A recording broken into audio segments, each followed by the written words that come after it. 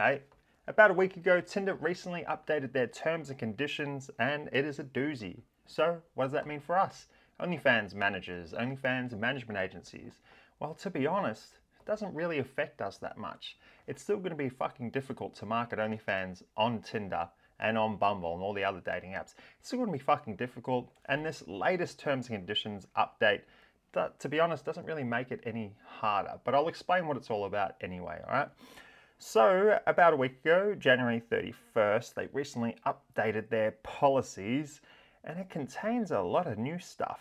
But to be honest, it doesn't really relate to us a whole lot.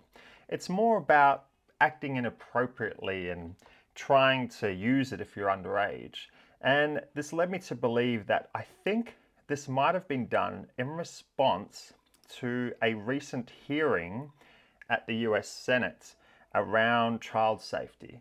So when was this? About nine days ago, Meta, so Mark Zuckerberg, X, that's Linda Yaccarino, the TikTok CEO, I think the Snapchat CEO was in there as well.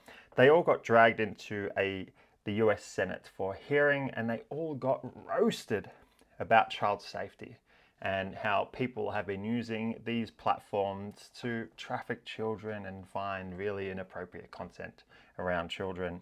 And after them getting really, really grilled, especially Mark Zuckerberg, um, I can't help but think that this is in relation to that because a lot of the new stuff they've added is talking about how to sue them, um, where to contact them if you want to go to court, and they really emphasize about using it if you're underage or acting inappropriately. And they also talk about how if you violate their terms and conditions in any way, they'll send your account a message letting you know, you know, what you violated and what to do about it. But to be honest, with what we do, you don't get a message, you just get banned.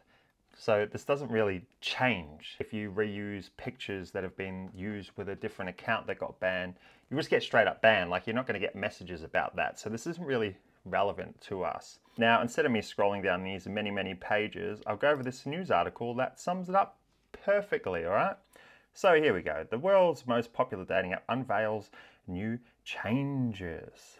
So it's a new safety warning feature to combat inappropriate behavior occurring on the forum. So they're going to roll out the change globally in the coming weeks in an effort to boost good app in-app behavior and promote authenticity, respect, and inclusivity. The update to user warnings will mean users found to be breaching the app's guidelines will receive in-app messages.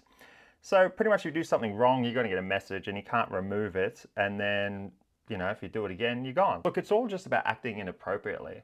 Um, so they're really cracking down on app, uh, acting inappropriately in this modern political climate where you know people get offended easily and and stuff like that. It's getting getting pretty hairy. So this late, these latest changes are really just about that, and I can't help but think that it's also in relation to um, child safety as well because Meta is getting sued like five ways from Sunday around this. And I think TikTok's getting sued as well for similar reasons. And I'm pretty sure that they're doing this to like just tighten up, really. So to be honest, instead of running you through this whole article and dragging this video out, I'll just say, if you're doing OnlyFans or you're an OnlyFans manager or you own an OnlyFans management agency and you're using dating apps to market OnlyFans, to sum it up, this update doesn't really affect us look, if we're lucky, it might mean that if the account gets flagged, then perhaps we'll get a message instead of just getting straight up banned or asked to verify, where in the past, you know, we'll just get banned straight away. Perhaps this could mean that maybe we'll get a warning first.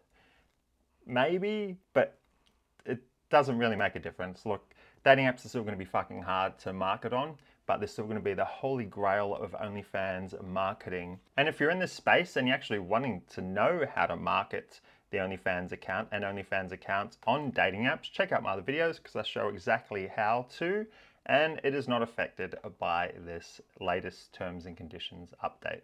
And that's it. So if you like my video, go smash the like button, smash the subscribe button, and I'll see you on another one.